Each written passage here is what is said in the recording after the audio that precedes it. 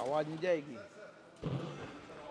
आवाज़ नहीं जाएगी नहीं जाएगी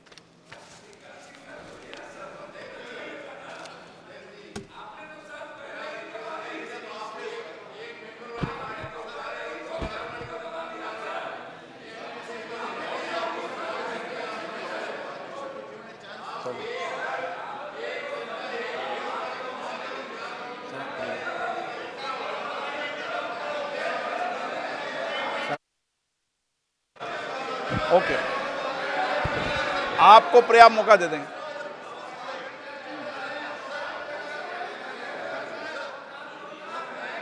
ओके ओके प्लीज़ प्लीज़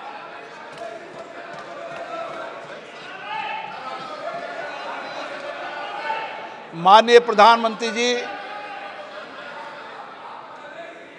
केंद्रीय मंत्री परिषद के मान्य सदस्यगण,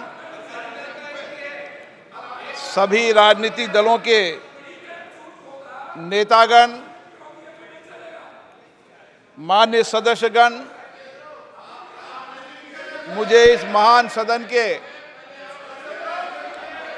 पीठासीन अधिकारी के रूप में, प्लीज़, मैं आपको सबको मौका दूँगा, please please Amram ji, please. Owaisi ji please सबको मौका दे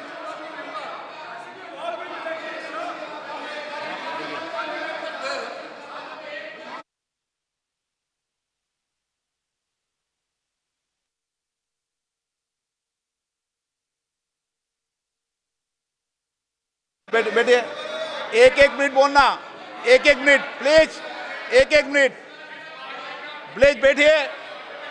प्लीज़ बैठिए। प्लीज़।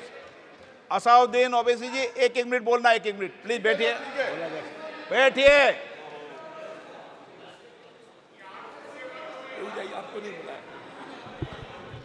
मान्य सदस्यगण, जब स्पीकर सीट से खड़ा हो जाता है तो मैं मान्य सदस्यों को अवगत कराना चाहता हूँ, वह बैठ जाया करें।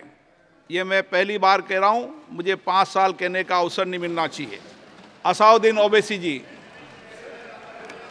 सर मैं आप सर मैं आपको अपनी जानिब से, पूरे मुल्क की जानिब से मुबारकबाद देता हूँ और मुझे यकीन है कि आपकी पार्लियामेंट की आवाम इस बात पर फख्र कर रही है कि आप दूसरी मरतबा इस ऐवान के स्पीकर बने हैं।